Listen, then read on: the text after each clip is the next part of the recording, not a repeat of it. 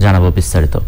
Corona পরীক্ষা ও হাসপাতালে ভর্তি নিয়ে দুর্ভোগের সীমা নেই। ধারণ ক্ষমতার চেয়েও বেশি রোগী রাজধানীর প্রতিটি হাসপাতালে। এক হাসপাতাল থেকে আরেক হাসপাতালে ঘুরছেন রোগীরা। করোনা পরীক্ষার সিরিয়াল পেতে বারবার ফোন দিয়েও সংযোগ পাচ্ছেন না অনেকেই। আফরোজা হাসির রিপোর্ট। রাজধানীর মুগদা মেডিকেল কলেজ ও হাসপাতাল। এক ঘণ্টার ব্যবধানে করোনা ভাইরাসে আক্রান্ত রোগী নিয়ে পাঁচটি অ্যাম্বুলেন্স হাসপাতালটির করিডোরে। বিভিন্ন হাসপাতাল থেকে ফিরিয়ে দেয়া এই রোগীদের ভর্তি হতে চাই শয্যা, কারও প্রয়োজন অক্সিজেন ও আইসিইউ।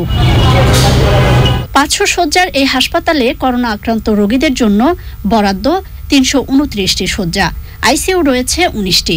এরই মধ্যে হাসপাতালটিতে ধারণ ক্ষমতার চেয়ে বেশি রোগী ভর্তি রয়েছে। খালি নেই, আইসিইউর একটি শয্যাও। এইখান থেকে বলছে অক্সিজেন নাই ওনাদের। অক্সিজেন নাই এই কারণে ওনারা রুগী নিতে পারছেন আমার আম্মার শ্বাসকষ্ট হচ্ছে তো আমি আসলাম তারা বলছে বেড নাই সিরিয়াস রুগীদের তারা চিকিৎসা দিতে পারছে না। তার বলছে অন্যখানে ট্রাই করার জন্য।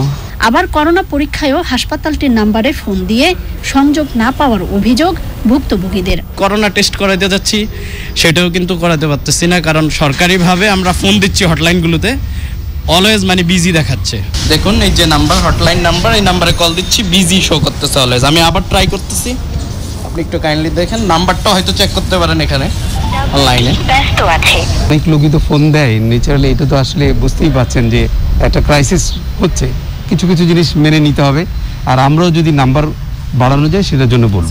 করোনা আক্রান্ত শ্বাসকষ্টের রোগীদের ফেরাতে চায় না হাসপাতালগুলো কিন্তু নিরুপায় তারা। রিয়েল সিচুয়েশনটা ভালো না। ধরেন আমাদের যে ক্যাপাবিলিটি আছে সেই ক্যাপাবিলিটির বেশি তো রুগী আসছেই। এই মুহূর্ত থেকে ওভারকাম করতে গেলে রুগীর সংখ্যা কমানোর জন্য যা যা করা লকডাউন থেকে শুরু করে এই মুহূর্তে সারা দেশেই এই এই জিনিসটা করতে হবে।